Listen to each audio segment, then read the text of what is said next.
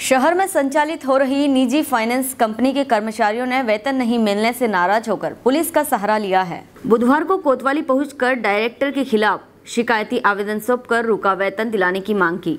कोतवाली पहुँचे ललित सिंह तंवर ने बताया कि वह करीब छह माह से अस्थायी कर्मचारी के तौर पर मेगना फाइनेंस सर्विस पर काम कर रहा है। यह निजी फाइनेंस कराने वाली संस्था है।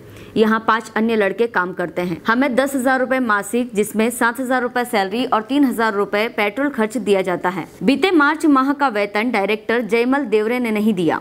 बार बार फ़ोन लगा रहे हैं। कभी फ़ोन अटेंड करते हैं। खरगोन से जयंत गुप्ता की रिपोर्ट। या ये खरगोन थाने पे आवेदन दिया क्या समस्या आ रही है? समस्या आ रही है सर कि हमारे यहाँ लड़के काम करते हैं पाँच से छः लोग तो उनकी दो दो महीने से सैलरी नहीं मिली है वो मेरी छः महीने से नहीं मिली है।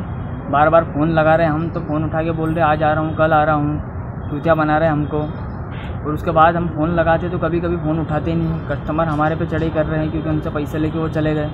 कस्टमर हमको बोल रहे हैं तो हम थाना प्रभारी में आज हमने रिपोर्ट डाली हमारे नाम से आवेदन डाला है।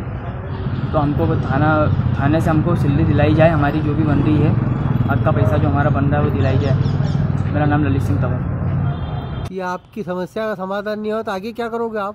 अब आगा कार्रवाई जो भी प्रशासन करेगा वो करवाएँगे। कहाँ रहे तो? मांग हेलो फ्रेंड्स आप देख रहे हैं हमारा channel S W twenty four news हमारे सारे वीडियो सबसे पहले देखने के लिए आप हमारे चैनल को सब्सक्राइब करें और पास में लगे बेल आइकन को दबाना बिल्कुल भी ना भूलें।